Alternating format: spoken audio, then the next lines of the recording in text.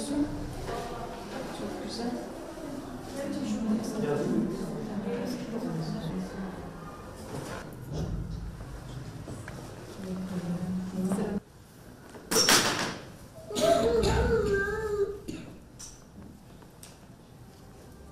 Ne güzel şekilde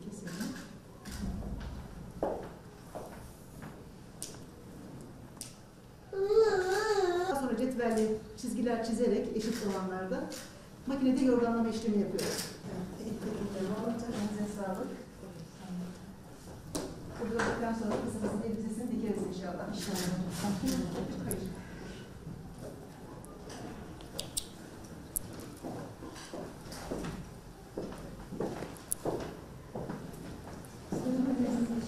Tamam, eline geçtik. Bu makineye oturup yorganımızda ve Peki bebek yorganlarımız var. Aplike çalışmasıyla e, çalıştığımız. Onlar da kaşlarımız var. Bir, ş- şuna bir bakabilirseniz eğer. Yani en küçük, en küçük bir kumaşımız var. Kesilmiş ve dikilmiş. Evet.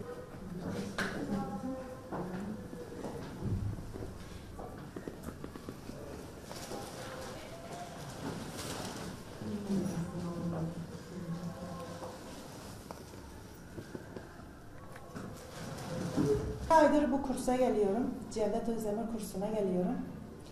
Ee, böyle geri dönüşüm hazırlıyoruz. Ee, çeyiz ürünleri hazırlıyoruz. Nevresim takımları dikiyoruz. Yani belli bir amacımız var bizim. Ee, evimize gelir sağlıyoruz. Yani evdeki kumaşlarımızdan böyle şeyler hazırlıyoruz. Eldivenler, böyle kazan tutacakları. Yani öğreniyoruz çok şükür. Ben e, iki aydır buraya geldim gelen hiçbir şey bilmiyordum. Çok şükür şimdi nevresim takımları dikiyorum. Yani yorgan yüzleri dikiyorum. Böyle şeyler dikiyorum. Yani güzel bir şey yani. Yamalar yaptık. Böyle kırk yamalar yaptık. Şöyle e, şeyler, şunları atar mısın? Böyle şeyler yaptık. Şöyle kırk yamalar yaptık. Bu mutfak önüne yaptık. Ondan sonra böyle yaptık. Kazan tutacakları yaptık böyle. Eldivenler yaptık. Yani hiçbir kumaşımızı zayi etmiyoruz yani. Her şeyi değerlendiriyoruz. Başkanımızdan Allah razı olsun. Çok teşekkür ediyoruz bize kadınlara böyle bir imkanı sağladığı için. Leyla Er, dört tane çocuğum var. Buraya ben üç seneden beri geliyorum yani.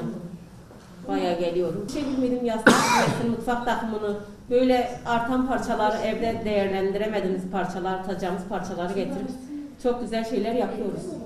Ee, ismim Müjde Yılmaz. Burada Cevdet Özdemir'de mefruşat kursuna geliyorum. İki aydan beri geliyorum. Önce evde nevresim takımı diktim. Kalan parçamı böyle eldiven yaptım. Ondan sonra şöyle CD ile evde geri dönüşüm olarak bir iğnelik yaptım. Tekrar kalan parçalarla böyle bu evde kullanmadığım bir kumaşta eldiven yapmaya karar verdim. Çok da güzel olacağına eminim yani. Bu benim çeyizim. Bu nakışları artık gençlerimiz beğenmiyorlar. O yüzden hocamızın sayesinde böyle nevresim alıp düz bir renk onu arasına geçirip yeni çeyizlik modeli getirdim yani. İsmim Yeşim Yalman. 14 yaşındayım. Resim takımları vardı. Onları atmak yerine değerlendirerek eldivenler yaptık. El, daha sonra saten kumaşlardan havlu, havluları dikerek dantel, dantelle birlikte hav, havlu yaptık. Tamam canım. Yavaş yavaş, yavaş yavaş. Acele etme, sakin. Tamam, sakin, yavaş yavaş. Tamam, aferin. Başını yönlendirelim hafifçe. Yüzünü ayağını çekiyorsun. Tamam. Ben Seyhan Derecik, Mefruşat kursu hocasıyım. Şehit Cevdet Özdemir e, Sosyal Tesisinde çalışıyorum. İki aydır burada görevliyim. Seccade yapıyoruz, kırk yama çalışmalarımızdan pikeler yapıyoruz. E, bebek oyun matları, yani aklınıza gelebilecek her bir şey yapabiliyoruz atık kumaşlarla. Mesela e, şu iğneliklerimiz, bunların altında CD var. CD'lerimiz kullanmış, yıpranmış CD'leri atmıyoruz. İçinde kullandığımız e, elyaflar, seccadelerimizi veya pikilerimizi yaparken kullandığımız elyafların kalan kırıntılarını küçük küçük kırpıyoruz, içine koyuyoruz. Doldurduktan sonra bu hale getiriyoruz.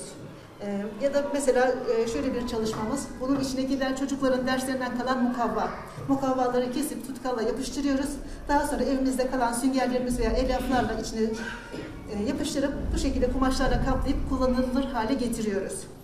Mesela e, şöyle bir kalemliğimiz var, ayakkabı şeklinde bir kalemliğimiz. Bunun içi kot. Çocukların kullanmadığı yıpranan kotlarımız.